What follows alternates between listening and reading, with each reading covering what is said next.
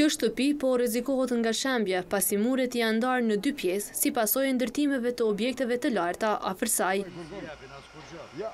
Kjo ka rritur shqetësimin e banorëve të Lagjes së Muhaxherëve në Prishtinë se mund të pësojnë ndonjë fatkeqësi.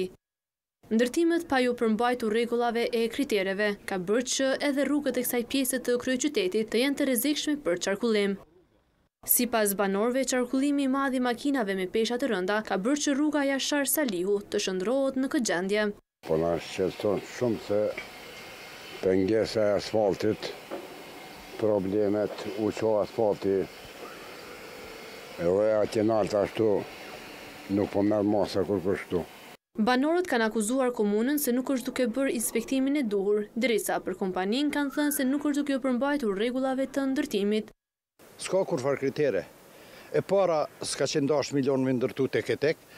Ka qenë dashtë qysh o konë projekti m'u bo bllok. Kur bohet projekti për krejt bllokun atëherë me fillu ndërtimet. Ktu kanë fillu ndërtimet hala që që që ka pas luftë menjëherë. Edhe pe shihni vetë qysh e kanë bo qytetin. O bo qyteti i padurueshëm për qytetarët. Pronari i shtëpisë mbrapa kamerës ka thënë se ka dërguar edhe ankesë në Komunën e Prishtinës, ku ka shprehur shqetësimin e tij për shkak të dëmeve që ka pësuar nga këto ndërtime. Derisa nga Komuna, atij është thënë se ekipi i inspekcionit ka dalë në terren për konstatimin e dëmeve. Këtë e ka konfirmuar për Kanal dhjetë drejtori i inspekcionit në Komunën e Prishtinës Florian Dushi, i cili ka thënë se gjatë ditës do të dalin në terren.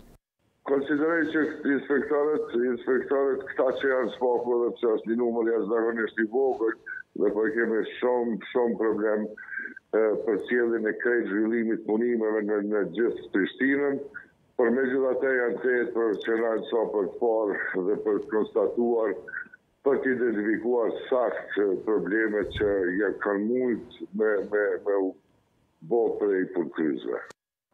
Viteve të fundit janë rritur ndjeshëm ndërtimet e larta në kryeqytet, duke bërë që shumë qytetarë të mbesin të pakënaqur për mungesën e hapësirave të gjelbërta, trotuareve e parkingjeve.